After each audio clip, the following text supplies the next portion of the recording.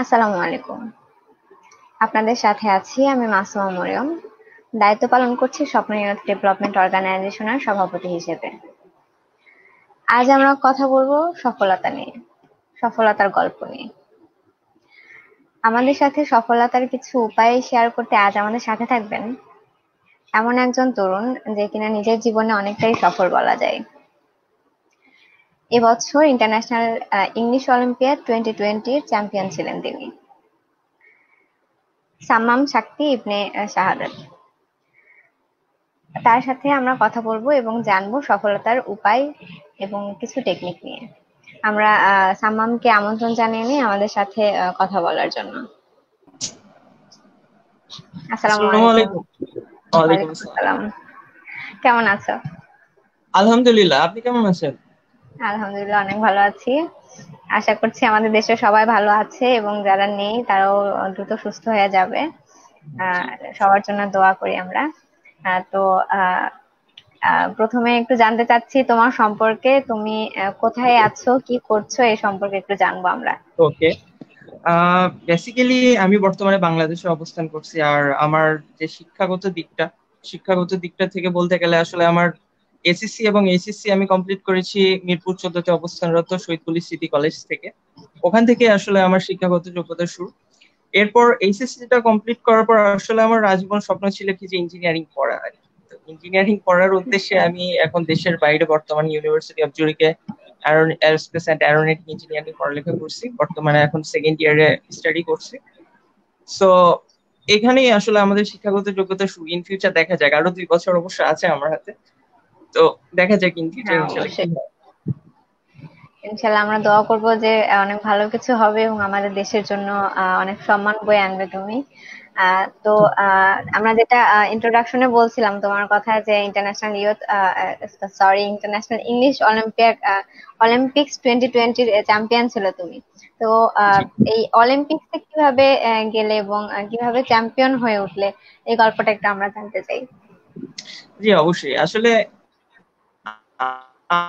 আমাদের যে international English Olympics এটা আসলে প্রতি বছরই অর্গানাইজ করা হয়ে থাকে। এটা Asian English organisation and university ইউরেন্সিস এই দুইটা সংস্থার অর্গানাইজেশনের মাধ্যমে আসলে প্রতি বছরই এটা ওভারকাম হয়ে থাকে। এটা আসলে একটা কম্পিটিশন যেটা পুরো বিশ্বব্যাপী প্রত্যেকটা ইউনিভার্সিটির মাধ্যমে কম্পিটিশনটা হয়ে থাকে। তো আমি যখন প্রথম এই বিষয়টা সম্পর্কে জানতে পেরেছিলাম, আসলে আমাদের ওখানে ইংলিশ ক্লাব নামে একটা অর্গানাইজেশন আছে।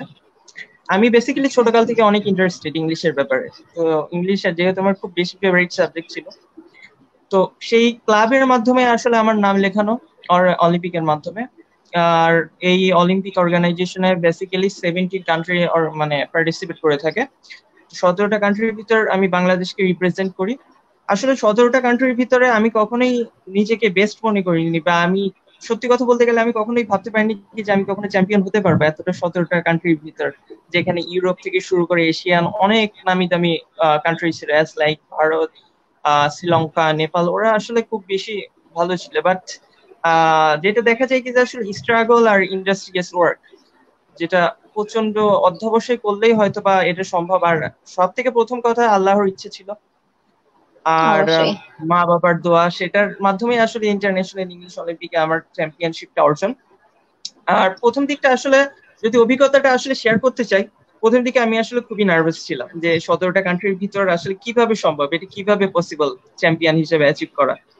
যখন আমি অডিটোরিয়ামে ঢুকতেছিলাম তখন দেখছিলাম কি যে সতেরোটা কান্ট্রির প্রত্যেকটা পার্টিসিপেন্ট স্টেজে দাঁড়ানো অবস্থায় যে তারা এখন পার্টিসিপেট করতে যাচ্ছে একটা ওয়ার্ল্ড অর্গানাইজেশনের মাধ্যমে। যেহেতু আমি বাংলাদেশকে রিপ্রেজেন্ট করছি, সেই মুহূর্তে আসলে আমার মধ্যে একটা চিন্তা ভাবনা ছিল কি, যে আমি কি এটা পারব? আমার পক্ষে কি এটা সম্ভব হবে কি না? আদৌ বাট নিজেকে আসলে, নিজেকে একটা জিনিস সবসময় আমি বিলিভ করি যে কনফিডেন্স আমার ভিতরে যে কনফিডেন্টটা ছিল, সেই কনফিডেন্টটার মাধ্যমে আসলে আমার এই সমস্ত সাহসটুকু অর্জন করা। তো সেখান থেকে দেখা যায় কি যে এই অর্গানাইজেশনটা সাধারণত যে কম্পিটিশনটা হয় তিনটা ভিত্তিতে, অর্থাৎ তিনটা স্টেজের ভিত্তিতে তারা জাজ করে থাকে। প্রথম যে ধাপটা থাকে তাদের তাদের হলো গ্রুপ ডিসকাশন অর্থাৎ জিডি। এখানে একটা বেসিক্যালি টপিক দেওয়া থাকে। এই টপিকস এর উপর সতেরোটা কান্ট্রির বেস্ট একটা ইনফরমেশন দিতে হয় তাদেরকে। এই বেস্টের ভিতর যে সব থেকে বেশি বেটার ইনফরমেশন দিতে পারবে, সে সব থেকে বেশি পয়েন্ট অ্যাচিভ করতে সেকেন্ড রাউন্ডের জন্য কোয়ালিফাই হবে। তো একটু নার্ভাস ছিলাম বাট কনফিডেন্টের মাধ্যমে করে আমি দেখলাম সেকেন্ড রাউন্ডটা উত্তীর্ণ হয়ে গেলাম। তো ফার্স্ট রাউন্ড এন্ড সেকেন্ড রাউন্ডটা হওয়ার পর যখন থার্ড রাউন্ডটা একটু টাফ ছিল, কারণ থার্ড রাউন্ডটা ছিল আসলে কি রটারির মাধ্যমে যে টপিক্সটা থাকবে সেই টপিক্স এর মাধ্যমে আমাদেরকে অ্যাক্টিং করে দেখাতে হবে কি তুমি এই টপিক্সটার মাধ্যমে নেতিবাচক বা ইতিবাচক যাই হোক না কেন, সেটাকে ইতিবাচক ভঙ্গিতে আমাদেরকে তুলে ধরতে হবে। তো আমার ক্ষেত্রে যেটা হয়েছিল আর কি লাকিলি আমি ব্যাপারটা পারতাম। আমার যে ম্যাটারটা ছিল সেটা হলো কি এনভায়রনমেন্ট স্টাডিজ এনভায়রনমেন্ট স্টাডিজটা আমাদের গ্লোবাল ওয়ার্মিং এর ক্ষেত্রে কীভাবে কি আমাদের বৈশ্বিক উষ্ণায়নটা কীভাবে হেল্প করতে পারে বা কার্বন ডাইঅক্সাইড থেকে শুরু করে যা যা আমাদের পরিবেশকে দূষণ করছে, এটাকে আমরা কীভাবে কন্ট্রোল করতে পারি? লাকিলি আমার ভাগ্যে সেটা পড়ে গিয়েছিল। তো আমি আমার পুরোটুকু দিয়ে চেষ্টা করেছিলাম বাট যখন রেজাল্ট হয়েছিল, আসলে আমি একটু মন ক্ষুণ্ণ ছিলাম যে হয়তো বা আমার পক্ষে সম্ভব না। দেখা যাচ্ছে কি যে আস্তে আস্তে রেজাল্ট আছে second runners up third runners up Nepal second runners up আসে ভুটান। বাট যখন চ্যাম্পিয়ন্স নামটা উঠে বাংলাদেশ আমি আসলে নিজেকে বিশ্বাস করতে পারছিলাম না যে আদৌ বাংলাদেশের পক্ষে এটা আমি করতে পেরেছি কিনা। কারণ একটা চ্যাম্পিয়ন হওয়া এতগুলো কান্ট্রির মাঝে চ্যাম্পিয়ন হওয়া আর এতটা মানে সতেরোটা কান্ট্রির ভিতরে যখন বাংলাদেশ নামটাকে শোনা তখন নিশ্চয়ই একটা গর্বের বিষয়। কি যে হ্যাঁ আমি আমার দেশের জন্য কিছু একটা করতে পেরেছি। তো এটা আসলে জাস্ট একটা মেমোরেবল ইভেন্ট ছিল আর সব থেকে বড় কথা ছিল একটু নার্ভাস ছিলাম বাট কনফিডেন্সটা আমাকে হেল্প করেছে এই ব্যাপারে। তো আমরা জানতে চাচ্ছি তুমি তো বলা যায় এদিক থেকে সফল একজন। তো এই সফলতার পিছনে তোমার কোন কোন জিনিস ভূমিকা রেখেছে বা তোমাকে অনুপ্রেরণা জুগিয়েছে? প্রথম যে কথাটা আসলে বলতে চাই যে এই সফলতার পিছনে প্রথম ড্রাইভার যেটা ছিল সেটা হলো আমার বাবা। কারণ আমার বাবা সবসময় আমাকে ইন্সপিরেশন দিয়েছেন। আমার বাবা একজন প্রফেসর ছিলেন, বেশ আনফর্চুনেটলি সে আমার দুই হাজার সতেরো সালে মারা গিয়েছেন। তো উনি যখন প্রফেসর ছিলেন, আসলে আমি ছোটবেলা থেকে খুব শাই টাইপের একটা মানুষ ছিলাম, যে মানুষের সাথে কন্ট্যাক্ট করতে পারতাম না বা কথাবার্তা বলতে পারতাম না। এই বিষয়টা আমার বাবার কাছে সবসময় যখন আমি শেয়ার করতাম, তখন বাবা বলতে কি যে দেখো, তোমার সাথে আমি একটা ঘটনা শেয়ার করি। ঘটনাটা হলো সাপোজ তোমার বাবা মাকে কোনো একজন সন্ত্রাসী সাপোজ কিডন্যাপ করে নিয়েছে, আর তোমার সামনে আমাদের দুইজনের সামনে মানে কিডন্যাপ করা অবস্থায় তুমি কি করবে? তুমি আমাদেরকে বাঁচাবে? নাকি তুমি ওই অবস্থায় ছেড়ে দিয়ে রেখে আসবে আমাদের? আমি বললাম কিছু অবভিয়াসলি আমি বাঁচবো, কারণ এটা আমাদের ডু অর ডাই সিচুয়েশন তখন আমার বাবা বলেছি এক্স্যাক্টলি তুমি যে এখন মানুষের সাথে কন্ট্যাক্ট করতে পারছ না বা শাই ফিল করছ ইন ফিউচার তুমি যখন বড় পাইলট অফিসার বা অন্য কোনো অফিসের পদে যাবা বা যে কোনো ক্ষেত্রে, যেমন ইঞ্জিনিয়ারিং বা অন্য কোনো লাইনে যাবা সেই ক্ষেত্রে কমিউনিকেশন স্কিলটা তোমার সব থেকে বেশি জরুরি। আর কমিউনিকেশন স্কিলটা তুমি যদি অ্যাচিভ না করতে পারো, এটা তোমার জন্য ডুয়ার ডাই সিচুয়েশন তুমি কিছুই করতে পারবা না। সেখান থেকে আসলে আমার বাবার থেকে ইন্সপিরেশন জোগানো। আর প্রথমেই যেটা বলেছিলাম কি যে আসলে ইংলিশ আমার খুব বেশি ফেভারিট সাবজেক্ট আমি ইংলিশ পড়তে খুব বেশি ভালোবাসি। তো ইন্সপিরেশনটা সেটা ছিল, আর সব থেকে বেশি যেটা ছিল, আমার একটা কথা সবসময় মনে পড়তো যে আমাকে আসলে নিজের জন্য কিছু করতে হবে, মা বাবার জন্য কিছু করতে হবে। এই চিন্তা চেতনা থেকে আসলে যে কনফিডেন্সটা ছিল যে হ্যাঁ আমি আমার বাংলাদেশের জন্য কিছু একটা করতে পারব, আর আন্তর্জাতিক লেভেলে হয়তো বা কিছু একটা রিপ্রেজেন্ট করতে পারব যেটা বাংলাদেশের নাম অবশ্যই সম্মান করবে। আর সবসময় একটা কথাই চিন্তা করতাম কি যে, আসলে বাংলাদেশ যে শুধু বিশ্বকাপ ক্রিকেট বা অন্য কোনো ক্ষেত্রেই যে শুধু জয়ী হবে এমনটা না। সতেরোটা কান্ট্রি থেকে আমরাও বেস্ট অ্যাচিভ করতে পারি, আমরাও নিজেকে প্রুভ করতে পারি কি যে হ্যাঁ বাংলাদেশ অবশ্যই বেস্ট সেই ইন্সপিরেশনটা আমার কাজে ছিল, সেখান থেকে আসলে এই ইন্সপিরেশনটা আমার কাছে আসে। অনেক ভালো বলেছে, আমাদের আসলেই মানে বাবা মার জন্য, দেশের জন্য অনেক কাজ করা উচিত এবং আমরাও চাই আমাদের দেশকে রিপ্রেজেন্ট করতে আমাদের দেশ সব দিক থেকে বেস্ট হবে। ইনশাল্লাহ একদিন আমরা আমরা দেখব এবং আমরা করে যেতে চাই। তো সফলতার জন্য স্ট্রাগল এবং স্ট্র্যাটেজি কীভাবে ভূমিকা রাখে এবং আমাদের সাথে যদি তোমার কিছু স্ট্র্যাটেজি শেয়ার করো আমাদের জন্য মনে হয় ভালো হয় আমাদের দর্শকদের জন্য। অবশ্যই অবশ্যই। স্ট্রাগলের ক্ষেত্রে আসলে আমি যেটা মনে করি যে কিছু কিছু মানুষ আছে যারা স্ট্রাগল বা স্ট্র্যাটেজিক মোমেন্ট দেখলে তারা মনে করে কি যে আমার লাইফ হয়তো এখানেই শেষ। আসলে কিন্তু সেটা না।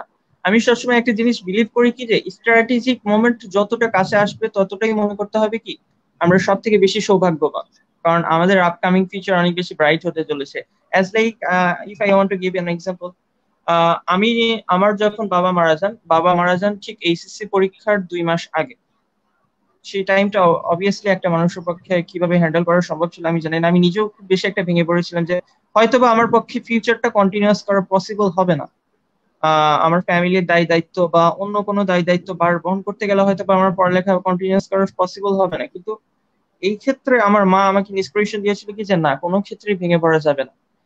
যে ক্ষেত্রে যেটা হয়ে গেছে সেটা আল্লাহর ইচ্ছা অবশ্যই হবে। আমাদের ভাগ্যে আসলে ভাগ্য বলতে একটা জিনিস থাকে ভাগ্যে যেটা থাকে সেটা লিখে কেউ খন্ডাতে পারে না। তো ইন ফিউচার যা হওয়ার হয়ে গিয়েছে, এটা নিয়ে চিন্তা করলে তোমার কোনো কিছুই হবে না। তোমাকে এগিয়ে যেতে হবে। বাট আনফর্চুনেটলি যেটা হলো এসএসসি পরীক্ষাটা আমি দিয়েছি বাট আমার রেজাল্টটা খুব বেশি একটা ভালো হয়নি। আমার অনেক ইচ্ছে ছিল কি যে আমি ডাক্তারি পড়ব বাট রেজাল্টের কারণে হয়েছে কি আমার রেজাল্টটা এতটাই খারাপ হয়ে গিয়েছিল যে আমি ডাক্তারি পড়ার জন্য কোনো অ্যাচিভমেন্ট করতে পারি বা ডাক্তারি পড়ার যোগ্যতাটা তেমন কিছু অর্জন করতে পারি বাট তারপরেও আমি হয়েছে কি যে আমি নিজেকে ভেঙে পড়িনি, যে না, আমাকে অবভিয়াসলি কিছু একটা করতে হবে। ইন ফিউচার আমি যদি ভেঙে পড়ি তাহলে আমার দ্বারা কিছুই হবে না। আমার ক্যারিয়ারটা হয়তো বা এখানেই শেষ। সেখান থেকে আমি স্টার্ট করলাম। সবকিছু দেখতে থাকলাম যে আসলে আমার ফিউচারটা আমি কি হতে চাই? ইন ফিউচার আমার টার্গেটটা কি? কি হলে আমি আমার দেশকে প্রাউড করতে পারব? পুরো ন্যাশনের জন্য কিছু একটা করতে পারব?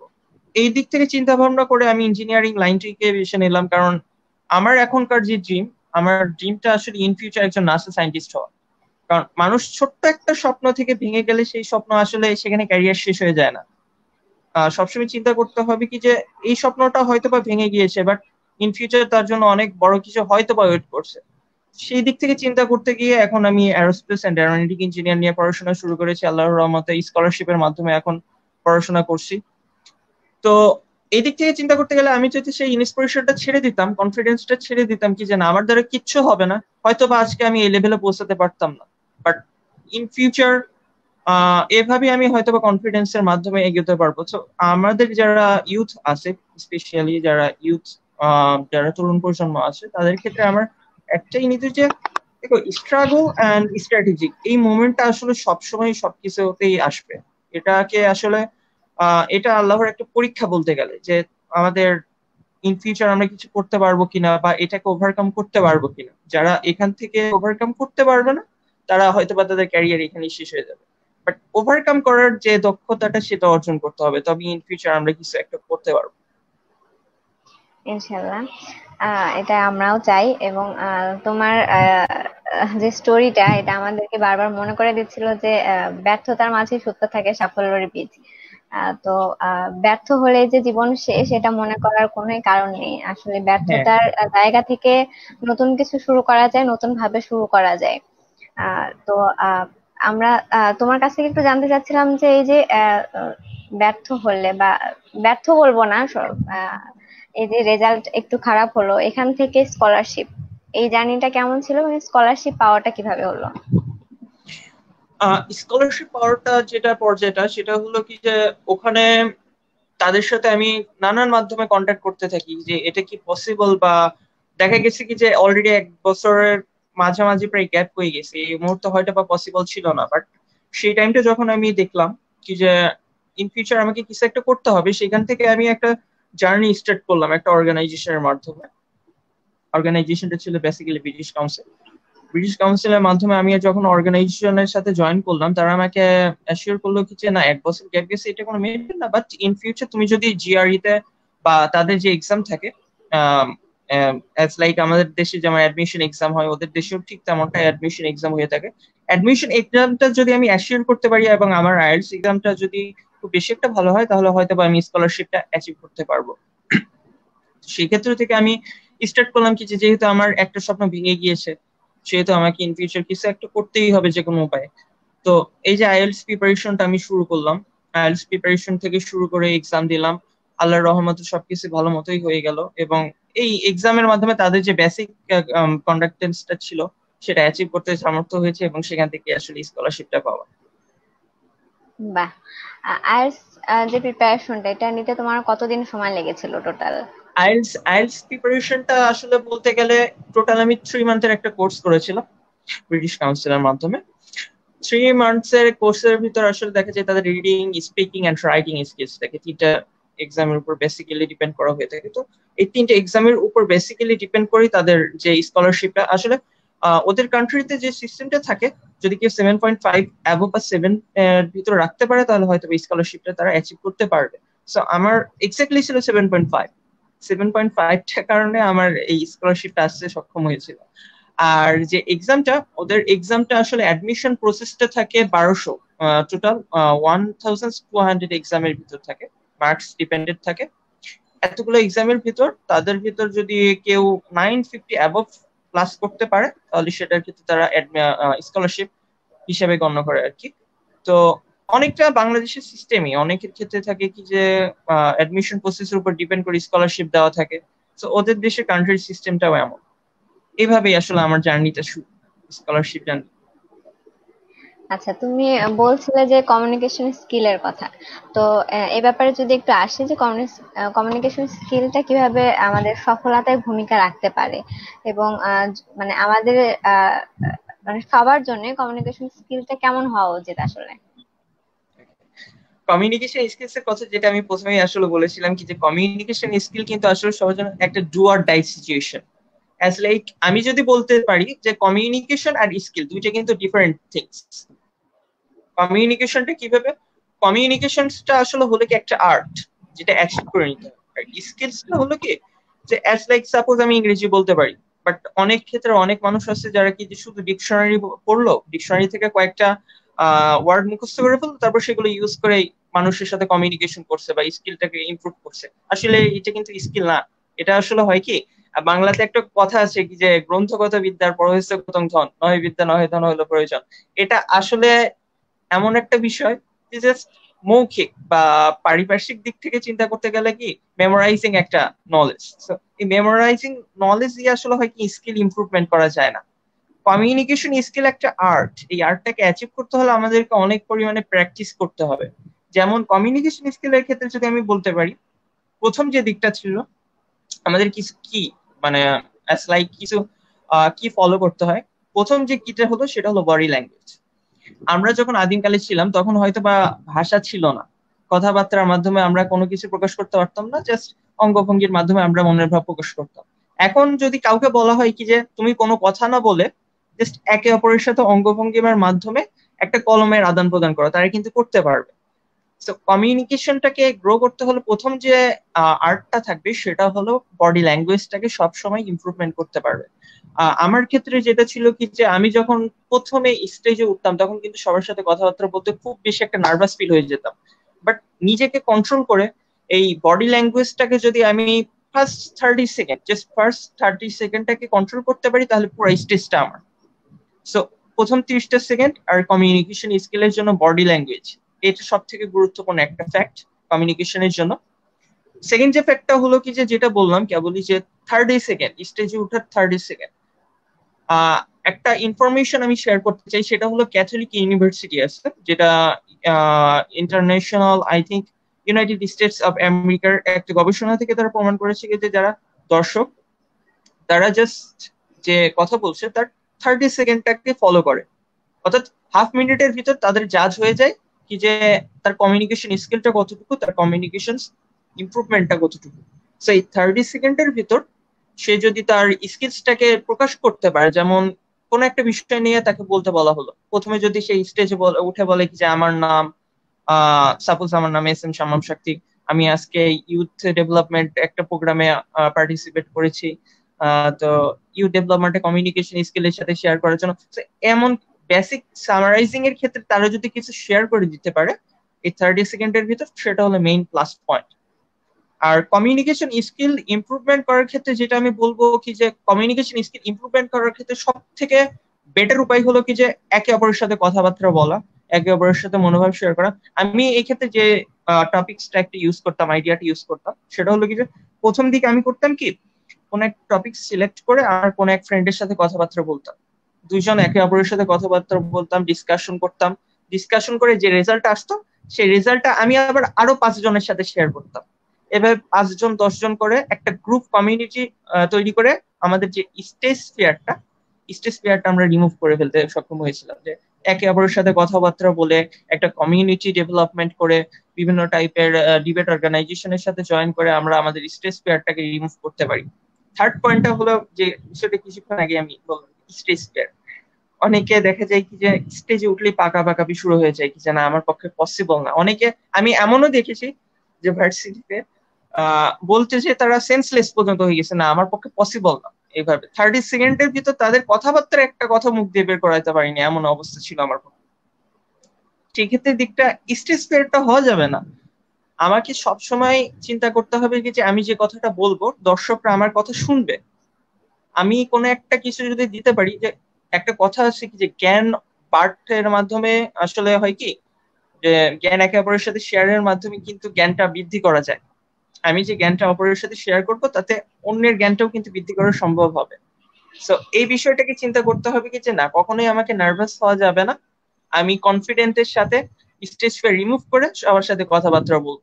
সো এই দিকটা থেকে চিন্তা করতে গেলে আসলে যে ফ্যাক্টটা যে কমিউনিকেশন স্কিলস এর ক্ষেত্রে এই চারটা বিষয় যদি আমরা ইমপ্রুভমেন্ট করতে পারি, তাহলে আমাদের পক্ষে স্ট্রেস ফিয়ারটা রিমুভ করা পসিবল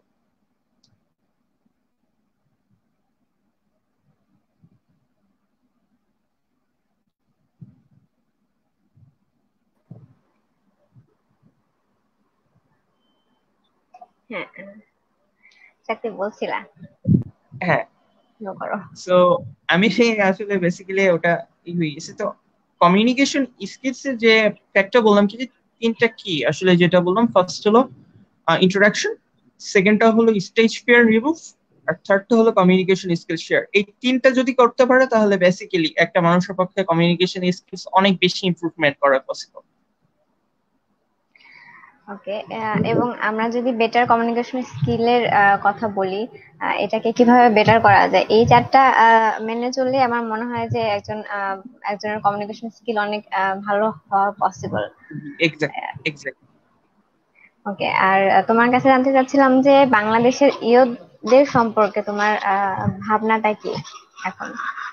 ওকে বাংলাদেশের ইউথের আসলে একটা কথা আমি সবসময় বলি কি youth are the future aspirations of a nation আমাদের যে ইউথ আছে, সেটা আসলে আমাদের ভবিষ্যতের যে কর্ণধার, তারাই কিন্তু ইউথরাই আমরা যদি ইউথ আমি কিছু ঘটনার এক্সপিরিয়েন্স শেয়ার করতে চাই, যেমন কিছুদিন আগে রমিজউদ্দিন ক্যান্টনমেন্ট কলেজে যে অ্যাক্সিডেন্টটা হলো অ্যাক্সিডেন্টে দুর্ভাগ্যবশত আমাদের কিছু ছাত্রছাত্রী মারা গিয়েছিল। সব থেকে বড় কিন্তু যে আন্দোলনটা হয়েছিল, সেটা কিন্তু ইউথদের মাধ্যমে পসিবল হয়েছিল। আন্দোলন থেকে শুরু করে যত প্রকারের যত কিছুই হোক না কেন, উনিশশো একাত্তর সাল থেকে শুরু করে আজ অবধি যত যা কিছু আছে, সবকিছুতেই কিন্তু ছাত্ররা অনেক বেশি পার্টিসিপেট আর অ্যাক্টিভ ছিল। আমাদের ইউথরা যেমন আন্দোলন করতে পারে, ঠিক তেমন ভাবে বাংলাদেশকে কিন্তু রিপ্রেজেন্ট করার জন্য তারা অনেক কিছুই করতে পারে। আর আমি যেটা চিন্তা ভাবনা করি যে, আমাদের দেশের ইউথের যে ট্যালেন্ট যে ইনোভেটিভ আইডিয়া সেটা অন্যান্য দেশ থেকে অনেক অনেক বেশি উন্নত। কারণ তারা আসলে যে কাজটা করে, তারা বুকিশ নলেজের পাশাপাশি যেটাকে প্র্যাকটিক্যালি করার চেষ্টা করে, তারা সেই জিনিসটাকে নিয়ে অনেক বেশি রিসার্চ করে। অনেক বেশি রিসার্চ আইডিয়া বের করে। আর সেই দিক থেকে চিন্তা করতে গেলে আমাদের ইউথরা কিন্তু অনেক এগিয়ে, অন্যান্য দেশ থেকে। জাস্ট আমাদের আসলে হয় কি যে আমরা আসলে সত্যি কথা বলতে গেলে আমরা একটা ছোট্ট দেশ জাস্ট ওভার পপুলেটেড আমাদের হয়তো বা সেরকম সুযোগ সুবিধা হয়ে ওঠে না, ইউথদের সেরকম সুযোগ সুবিধা দেওয়ার বা তাদের একটা কর্মক্ষেত্র তৈরি করে দেওয়ার যে, যেটার মাধ্যমে তারা পুরো বিশ্বে বাংলাদেশকে রিপ্রেজেন্ট করতে পারে। আমাদের কিন্তু হিউজ পরিমাণে ইউথ এম্পাওয়ারমেন্ট সো আমাদের যে ইউথ আমরা ইউথরা যদি আমাদের প্র্যাকটিক্যাল নলেজটাকে সঠিকভাবে কার্যক্রম করতে পারি ইনোভেটিভ আইডিয়াটাকে সঠিকভাবে ইউজ করতে পারি, তাহলে আমার যেটা মনে হয় যে বাংলাদেশ ডিজিটাল দেশ হতে আর উন্নত দেশ হতে খুব বেশি একটু সময় লাগবে না। আর ইন ফিউচার আমাদের দেশে যেমন লিটারেসি রেটটা অনেক বেশি বেড়ে গেছে, আর দেখা যায় কি যে আমাদের দেশটা মধ্য উন্নত, অতটা উন্নতর পর্যায়ে যাচ্ছে বাট মধ্য উন্নত অবস্থায় আছে। ইউথরা যদি সবাই একসাথে একত্রিত হয়, আর তারা যদি দেশের জন্য রিপ্রেজেন্ট করার জন্য পুরো বিশ্বে মানুষের কাছে ছড়িয়ে দিতে পারে যে হ্যাঁ আমরা পারি, সেক্ষেত্রে ইউথরা হবে বেস্ট বাংলাদেশের ইউথরা আমাদের যে উন্নত দেশ উন্নত দেশ তৈরিতে সব থেকে বড় ভূমিকা রাখতে পারবে আমি যেটা মনে করি। অবশ্যই আমরাও এটাই মনে করি, এই জন্য আমরাও চাই যে ইয়ুথরা এগিয়ে আসুক। তো ইউথ ডেভেলপমেন্ট এই ব্যাপারটাকে তুমি কীভাবে দেখো? ইউথ ডেভেলপমেন্ট ইউথ ডেভেলপমেন্ট মানে হলো কি যে তরুণদের সরি তরুণদের উন্নত প্রজন্মের একটা তৈরি করার যে মাধ্যমটা।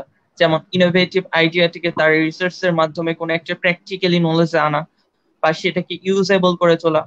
আর অ্যাজ লাইক আমি প্রিভিয়াস কোশ্চেনে যেটা অ্যান্সার দিয়েছিলাম কি যে বাংলাদেশের ইউথ কিন্তু অনেক বেশি ইনোভেটিভ সো তাদের ইনোভেটিভ আইডিয়াটাকে তারা যদি ডেভেলপমেন্ট করতে চায়, তাহলে কিন্তু ইউথ ডেভেলপমেন্টটা খুব বেশি দরকার। কারণ ইউথের যদি কোন আইডিয়াটাকে তারা রিসার্চ এর মাধ্যমে কোনো কিছু প্র্যাকটিক্যালি ইউজ না করতে পারে, তাহলে কিন্তু সেই আইডিয়ার কোনো ভ্যালু থাকবে না।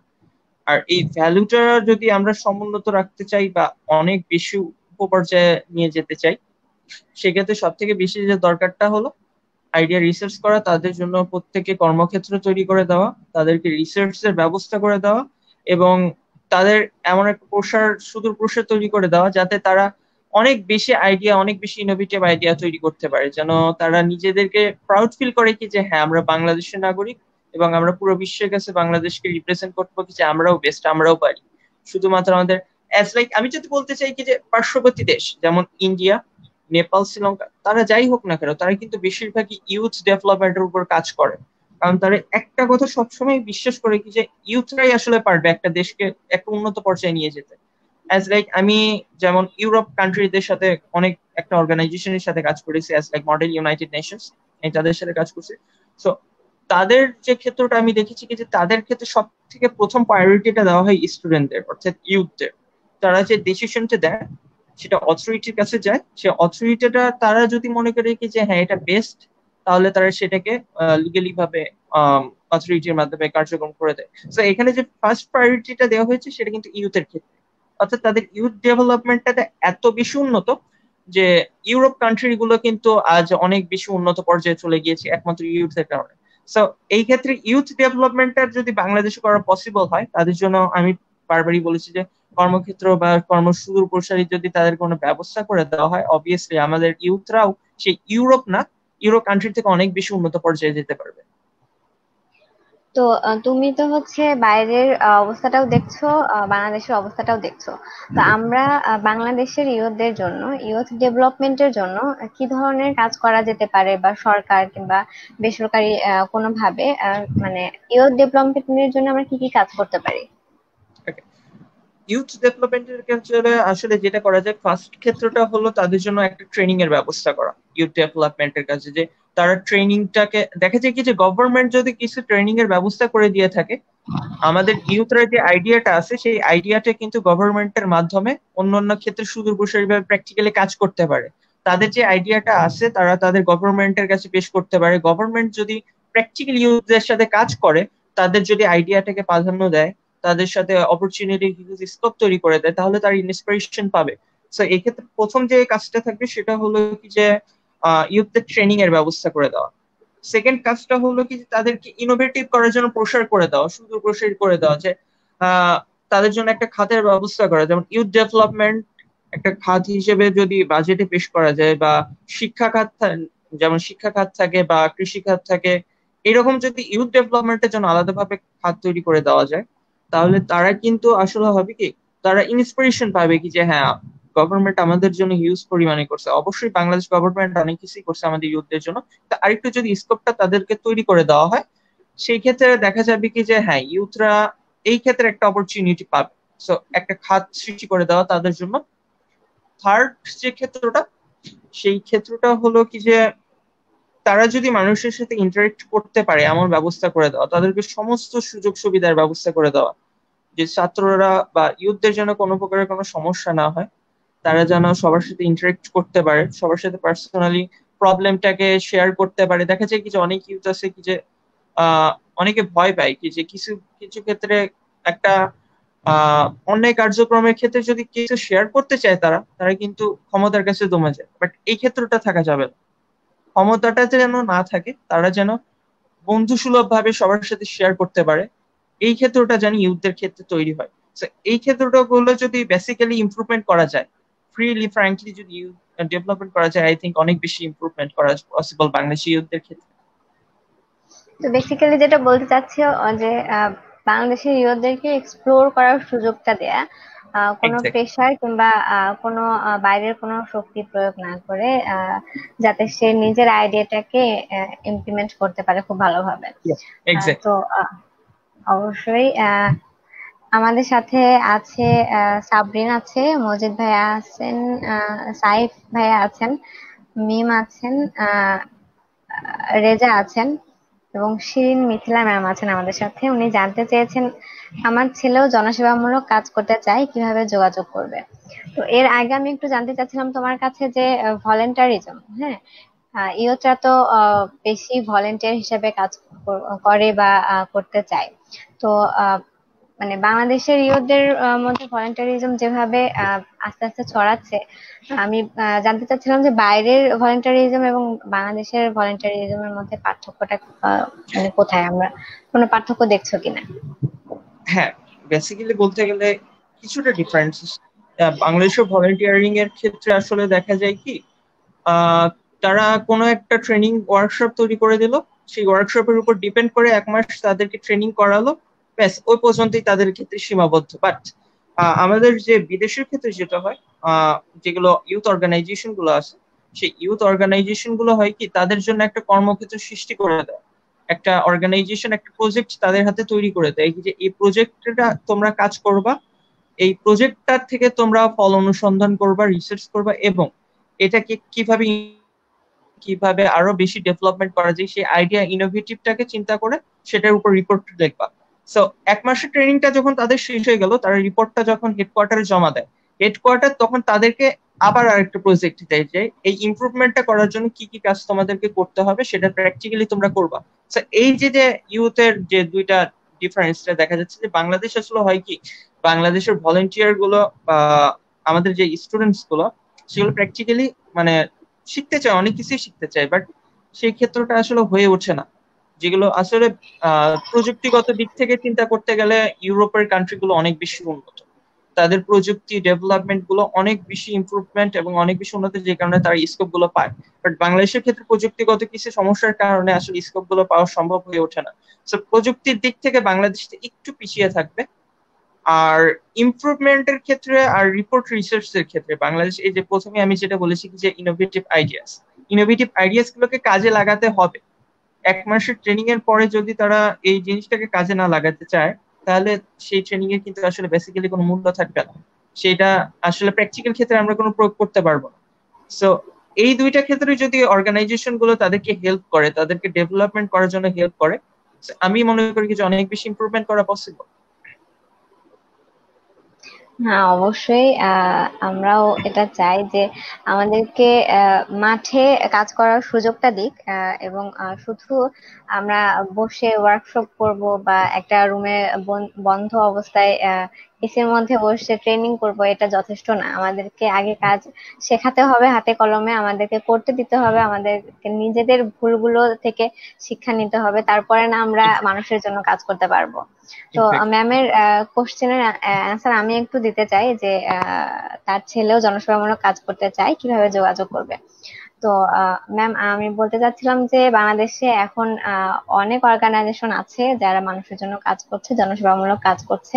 তো বেসিক্যালি যদি ছোট হয়ে থাকে, যদি স্কুলে কিংবা কলেজে কাজ করতে চায়, সেক্ষেত্রে স্কাউট খুবই ভালো একটা আইডিয়া স্কাউটিং এবং বিএনসিসি কাজ করছে। ওখান থেকে আস্তে আস্তে মানে শিক্ষা নিতে পারে সে।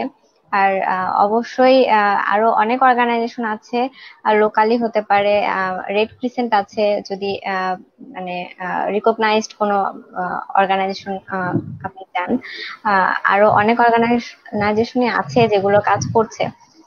তো যে কোনো জায়গা থেকে আসলে জনসেবামূলক কাজ করা যায়। শুধু ইচ্ছাটা লাগে। আর আপনি আমাদের সাথে আবারও যোগাযোগ করবেন যাতে আমরা আরও কয়েকটা অর্গানাইজেশনের নাম আপনাকে সাজেস্ট করতে পারি কিংবা আমাদের সাথেও কাজ করতে পারে সে। যদি সে চায়, অবশ্যই আমরা সাহায্য করব এবং আমরা চাই যে জনসেবামূলক কাজে আরও মানুষ এগিয়ে আসুক। তো আমাদের সাথে আরও আছেন নাইম এবং রেজা। সে, রেজা জানতে চেয়েছে share your feelings when you achieved the champions trophy আমরা ওইটা জানতে চাচ্ছিলাম যদি আমাদের একটু বলো আর কি।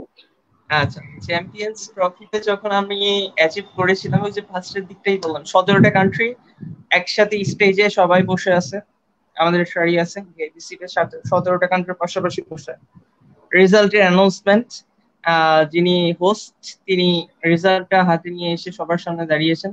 এখন তাদের রেজাল্ট অ্যানাউন্সমেন্টের যখন পর্যায়ে তখন আসলে বেসিক্যালি ছয়টা পর্যায়ে, ছয়টা পজিশনে আসলে এই ইন্টারন্যাশনাল অলিম্পিক্স এর র্যাঙ্কিং নির্ধারণ করা হয়ে থাকে। সিক্স কান্ট্রি ফিফথ কান্ট্রি এভাবে জাস্ট তারা বলে যাচ্ছে। সিক্স কান্ট্রি ফিফথ কান্ট্রি বলার পর থার্ড রানার্স আপ হিসেবে তারা ঘোষণা করল শ্রীলঙ্কাকে। থার্ড রানার্স আপ শ্রীলঙ্কা হলো। সেকেন্ড রানার্স আপ যেটা হলো সেটা হলো নেপাল। এবার চ্যাম্পিয়ন্স এর পর্যায়ে। বাট আমি আসলে চিন্তার বাইরে ছিল যে যেহেতু আমি এতটা পজিশন অ্যাচিভ করতে পারিনি সেটা আমার পক্ষে ইম্পসিবল কারণ ইন্ডিয়া আছে, তারপর সেকেন্ড দিক থেকে দুবাই ছিল ইউএই ছিল, তারপর সুইজারল্যান্ডও ছিল। তাদের অবশ্যই তারা অনেক বেশি ইম্প্রুভমেন্ট আমার থেকে অনেক বেশি স্কিলস ইম্প্রুভমেন্ট বাট যখন চ্যাম্পিয়ন্স এর পর্যায়টা আসলো জাস্ট চ্যাম্পিয়ন্স তারা গেস করতে বলছে যে কে হতে পারে। এই মুহূর্তে চ্যাম্পিয়ন্স এর নামটা শুনছে বাংলাদেশ এস এন সম্মান শক্তি ফ্রম বাংলাদেশ আমি জাস্ট অবাক হয়ে গেছিলাম যে এটা কীভাবে বসে এতগুলো কান্ট্রির ভিতর তারা এত সুন্দরভাবে যুক্তি দর্শাতে পারল বাট তারপরেও কীভাবে কি হলো? তখন আমি যখন স্টেজে অ্যাওয়ার্ডটা মানে রিসিভ করতে গেলাম, তখন তারা বলেছিল কি যে একটা জিনিস কথা আসলে বেশি বললে কোনো কিছু যুক্তি দেখানো যায় না। কথা কমের মাধ্যমে কিন্তু যুক্তি দর্শানো যায়। সো যুক্তিটা কমের মাধ্যমে দর্শানোর মাধ্যমে কিন্তু চ্যাম্পিয়নকে আমরা অ্যাচিভ করাতে পারি। সো সেই মোমেন্টটা আসলে অনেক বেশি ইম্প্রুভমেন্ট ছিল আমার জন্য, কি যে সবাই বাংলাদেশ যখন চ্যাম্পিয়ন নাম বাংলাদেশের নাম অর্জন করছে, বাংলাদেশের ন্যাশনাল অ্যান্থেম প্রচার হচ্ছে, আসলে সেই মুহূর্তটার মতো আসলে প্রাউডেস্ট মোমেন্ট আসলে কখন এখানে। সেই মুহূর্তে অবশ্যই আমার জন্য খুব বেশি স্পেসিফিক ছিল। আমার মনে হয় যে এই মোমেন্টটাকে একবার অনুভব করার জন্য হলো আমাদের সব ইউথদের উচিত এরকম প্রতিযোগিতা হোক বা এরকম যে কোনো জায়গা যেখানে নিজেকে এবং নিজের দেশকে রিপ্রেজেন্ট করা যায় এরকম জায়গায় যাওয়া উচিত এবং দেখা উচিত আসলে আমার শুনে ওই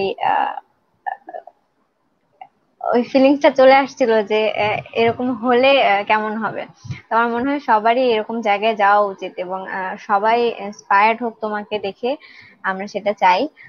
তো আমাদের ইয়দদের সম্পর্কে যদি আরও কিছু বলো তুমি। ইয়দদেরকে বাংলাদেশের ইয়দদেরকে তুমি কীভাবে কোন পর্যায়ে দেখতে চাও? ইউথদেরকে ক্ষেত্রে আসলে যেটা দেখতে চাই সেটা হলো কি যে বাংলাদেশের ইউথ এক সময় বাংলাদেশ লিড করবে বাট বাংলাদেশকে এমন ভাবে লিড করবে যেমন অন্য কান্ট্রি যেমন ইউএসএ লন্ডন আমেরিকা ইউরোপকে ফলো করবে না বরং ইউরোপরাই যেন বাংলাদেশকে ফলো করে। এমন একটা কান্ট্রি যেন বাংলাদেশের ইউথরা লিড করতে পারে, এই সম্পর্কিত আমি আসলে অবশ্যই আশাবাদী যে আমি আগেই বলেছি বাংলাদেশের ইউথ অবশ্যই অনেক বেশি ইনোভেটিভ তাদের চিন্তা ভাবনা ধ্যান ধারণা সবকিছুই আসলে অন্যদের থেকে আলাদা। কারণ আমাদের আসলে সত্যি কথা বলতে গেলে ব্রিটিশ থেকে শুরু করে আমরা যত যা কিছু আছে, আমরা কিন্তু সংগ্রামী আন্দোলনের সমস্ত কিছু ছাত্ররা করেছে। আমরা সেই ধাপটাকে যদি চিন্তা করি যে ইউথরা আসলে অন্যায় সহ্য করতে পারে না। যত ক্ষেত্রেই হোক তারা অন্যায় বা অন্য কিছু অপকর্মে সহ্য করতে পারবে না। তাদের যেমন ওই দিকটা ভালো গুণ আছে, ঠিক তেমন ভাবে তাদের ইনোভেটিভ আইডিয়াটাও কিন্তু অসাধারণ। অন্যদের থেকে থেকে সত্যি অসাধারণ। অ্যাজ লাইক নাসার যে একটা কিছুদিন আগে ফোপস নামে একটা কম্পিটিশন হলো। বাংলাদেশ কিন্তু সেখানে চ্যাম্পিয়নশিপ অর্জন করেছে। সো এতগুলো কান্ট্রির মাধ্যমে বাংলাদেশকে রিপ্রেজেন্ট করা কিন্তু যখন তার ইউরোপরা দেখল কি যে হ্যাঁ বাংলাদেশ অ্যাচিভ করেছে এই কম্পিটিশনটা তারা বাংলাদেশকে ফলো করছে। সো বাংলাদেশের ইউথরা যদি অনেক বেশি ডেভেলপমেন্ট করতে পারে, অনেক বেশি ইনোভেটিভ আইডিয়া থেকে কাজ করতে পারে, শুধু বিশ নলেজ না প্র্যাকটিক্যাল নলেজেও যদি তারা নিজেদেরকে কিছুটা হলেও সময় দিতে পারে so I hope that in future will see a better Bangladesh অবশ্যই, কিন্তু তোমার সাথে একটু যুক্ত করতে চাই যে আমাদের বাংলাদেশের প্রবলেমটা হলো যে আমরা আমাদের রাজনীতি কিংবা আমাদের ক্রিকেট এগুলোকে যেভাবে ফলাও করে প্রচার করি, আমাদের ইয়তদের যে সাকসেসগুলো, এগুলো আমরা ফলাও করে প্রচার করি না। এই জন্য ইয়তরা আমরা অবশ্য খুবই ভেরি অনেস্ট আমি তোমার কথা হয়তো জানতামও না। যদি আমি ওদের নিয়ে কাজ না করতাম। অনেকেই হয়তো তোমাকে চিনে না, তোমাকে জানে না, তোমার অ্যাচিভমেন্ট সম্পর্কে জানে না।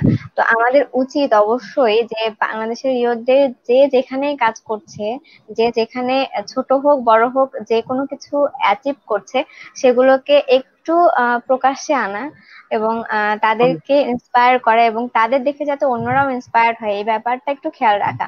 কেননা হয় কি, আমরা কাজ করছি কিন্তু আমরা আমাদের কাজগুলো কেউ দেখছে না। আমরা হারিয়ে যাচ্ছি। তো আমাদের আমরা তো বেঁচে থাকব আমাদের কাজ নিয়ে। যদি আমাদের কাজটাকেই আমরা না দেখাতে পারি বা মানুষ দেখে ইন্সপায়ার্ডই না হয় তাহলে আমাদের সেই কাজের মূল্যটা কোথায়?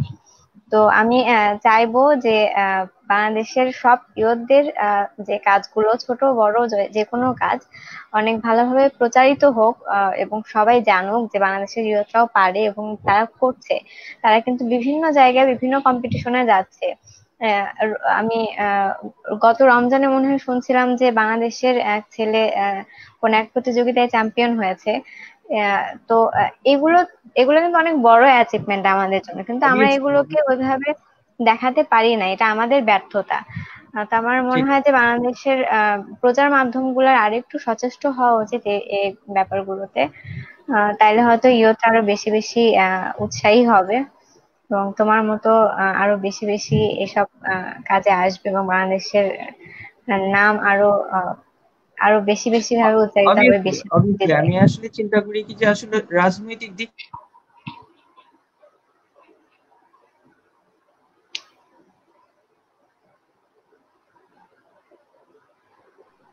বেশি গুরুত্ব দেওয়া উচিত। ইউথ এম্পাওয়ারমেন্টের সব থেকে বেশি দরকার।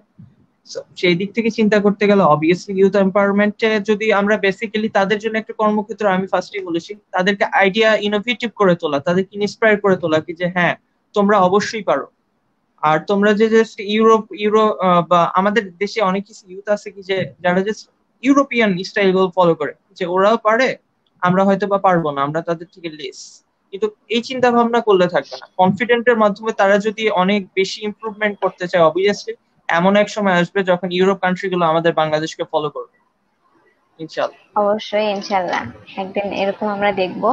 এবং সাথে তোমার কাছে আমি শেষ একটি প্রশ্ন করতে চাই, যে তুমি তো ইংলিশে অনেক ভালো এবং তুমি বারবার বলেছ আমাদেরকে যে তোমার ইংলিশের প্রতি দুর্বলতা আছে এবং খুব ভালো জানো তুমি ব্যাপারটা। তো ইংলিশে আমাদের ইয়তদের অনেকেরই দুর্বলতা আছে। দুর্বলতা বলতে আমি উইকনেস বুঝাচ্ছি এই অর্থে যে আমরা অনেকেই ইংলিশটা পারি, কিন্তু আমাদের বলতে গেলে হয়তো আটকে যায়, আমাদের জড়তা চলে আসে, কিংবা আমরা ইংলিশে ওইভাবে নিজেকে প্রেজেন্ট করতে পারি না। তো ইংলিশের ক্ষেত্রে আমরা কি করলে আমাদের এই ভয় কিংবা দুর্বলতাটা কাটতে পারে? এবং ইংলিশের, ইংলিশে যদি আমরা ভালো হতে চাই, তাহলে আমাদের কি কি করা উচিত?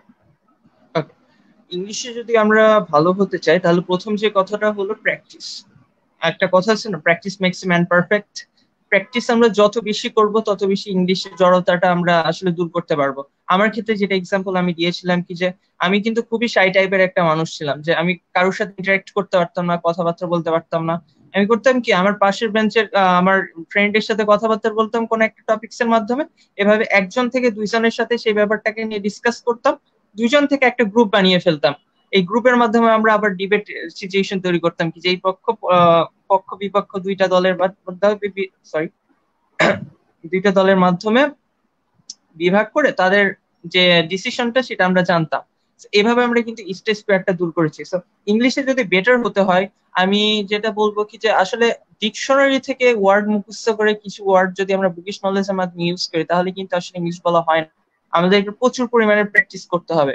এই ক্ষেত্রে আমি যেটা সাজেশন করব, প্রথমত আমি যেটা করতাম কি যে আমি প্রচুর পরিমাণে ইংলিশ নিউজ পেপার পড়তাম। English newspaper English cartoon English নিউজগুলো শোনার চেষ্টা করতাম।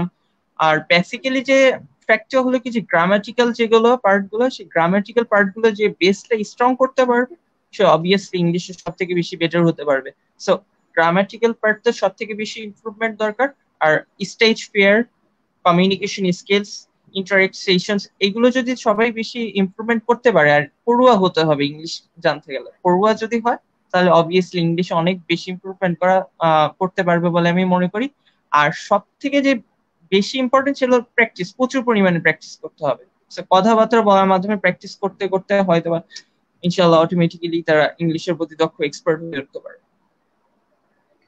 অনেক ধন্যবাদ শক্তি তোমাকে আমাদেরকে সময় দেওয়ার জন্য এবং আমার মনে হয় তোমার এই কথাগুলো শুনে আমাদের অনেক তরুণ ইন্সপায়ার্ড হবে এবং তোমার যে স্ট্রাগলের গল্প এবং তোমার যে ছোট ছোট স্ট্র্যাটেজি গুলো তুমি বলেছ, আমাদের সাথে শেয়ার করেছ, আমার মনে হয় এগুলো অনেকেই ফলো করবে। এবং তারাও তোমাকে দেখে শিখবে তোমাকে দেখে ইন্সপায়ার্ড হবে এবং আমরা চাই যে তোমার মতো আরও অনেক তরুণ বাংলাদেশকে রিপ্রেজেন্ট করুক বিভিন্ন জায়গায় বিভিন্ন ক্ষেত্রে যে যে জায়গাটাতে অনেক বেশি দক্ষ তারা সেখানে চলে যাক এবং বাংলাদেশের নাম সবচেয়ে উঁচুতে থাকুক আমরা এটা চাই। তো আবারও তোমাকে অসংখ্য ধন্যবাদ জানাচ্ছি তুমি শেষ যদি কিছু কথা আমাদের উদ্দেশ্যে বলো। আপনাকে অবশ্যই ধন্যবাদ। আমাকে এই অনুষ্ঠানে আসলে ইনভাইট করার জন্য আমি আসলে অনেক বেশি কিছু এক্সপিরিয়েন্স শেয়ার করতে পেরেছি। এটার জন্য অসংখ্য ধন্যবাদ যে আমাকে সব নিউজ ডেভেলপমেন্ট এমন একটা অপরচুনিটি ক্রিয়েট করে দেওয়ার জন্য। আর যেটা বললাম কি যে ইউথটা আসলে আমার মতো করে নয়। সবসময় মানুষকে চিন্তা ভাবনা করতে হবে কি যে আমি কি পারি? আমার মাধ্যমে আমি বাংলাদেশকে করব আমার মাধ্যমে আমি আমার ফিউচার বাংলাদেশকে করব আমি আমার দেশকে রিপ্রেজেন্ট করতে চাই। আমি পুরো বিশ্বের কাছে আমার দেশকে রিপ্রেজেন্ট করব। এটা আসলে সত্যি একটা মানে প্রাউডের মোমেন্ট সো সেরকম ভাবে নিজেদের চিন্তা ভাবনা থেকে কনফিডেন্ট থেকে নিজেদের চিন্তা ধারণা থেকে যদি সবাই করে অবশ্যই ইনশাল্লাহ আমরা অনেক বেশি ইমপ্রুভমেন্ট করতে যাব। আর যেটা সব থেকে বেশি গুরুত্বপূর্ণ কথা হলো বর্তমানে যে প্যান্ডেমিক যে অবস্থাটা আমরা সবাই চেষ্টা করব ঘরে থাকার কারণ এখন অবস্থাটা আসলে খুব বেশি একটা ভালো নয়। আমরা সবাই যে কোর্সেসগুলো সেগুলো ইউজ করার চেষ্টা করব যেমন মাস্ক হ্যান্ড স্যানিটাইজার এগুলো ইউজ করে সবাই নিরাপদে থাকার চেষ্টা করব। আপাতত কয়টা দিন যদি আমরা ঘরে থাকি ইন ফিউচার আমরা অনেক সময় আছে, অনেক সময় আছে অনেক কিছু করার বাট আপাতত আমাদের নিরাপত্তাটা প্রথম ফ্যাক্ট সবাই নিরাপদে থাকবেন, সুস্থ থাকবেন, আর অনেক বেশি ইউথ ডেভেলপমেন্টের চেষ্টা করবেন। অনেক ধন্যবাদ সাক্ষী আমরা আশা করব যে পরের কোনো প্রোগ্রামে হয়তো তোমাকে আবার আমরা পাবো এবং আমরা চাই তুমি আরও বেশি সাকসেসফুল একজন হয়ে ওঠো এবং বাংলাদেশকে আরও আরও অনেক জায়গায় রিপ্রেজেন্ট করো। আমরা ভবিষ্যতে তোমার মুখ আবার দেখব হয়তো হয়তো অন্য কোনো ভাবে হয়তো অন্য কোনো শিরোনামে। কিন্তু আমরা চাই তোমার এই সাকসেস স্টোরিটা তুমি অব্যাহত রাখো। অনেক ধন্যবাদ তোমাকে। আমরা আজ কথা বললাম এমন একজন তরুণের সাথে যে অনেকাংশেই সফল। এবং আমরাও চাই আমাদের দেশের সকল ইয়ুথ এভাবেই সফল হোক এবং বাংলাদেশকে রিপ্রেজেন্ট করুক এবং বাংলাদেশের জন্য সম্মান বয়ে আনুক। আর এই করোনা কালে অবশ্যই ইয়ুথদের উদ্দেশ্যে বলতে চাই যে সবাই ঘরে থাকো, সুস্থ থাকো এবং নিজেদের জন্য, নিজেদের পরিবারের জন্য এইটু কনসিডার করে আমার মনে হয় ঘরে থাকাটা বেটার অপশন যাতে আমরা পরবর্তীতে আমাদের স্বপ্নগুলো নিয়ে কাজ করতে পারি, আমাদের স্বপ্ন বাস্তবায়নে কাজ করতে পারি। সবাই ভালো থাকবেন, সুস্থ থাকবেন। খোদা হাফেজ।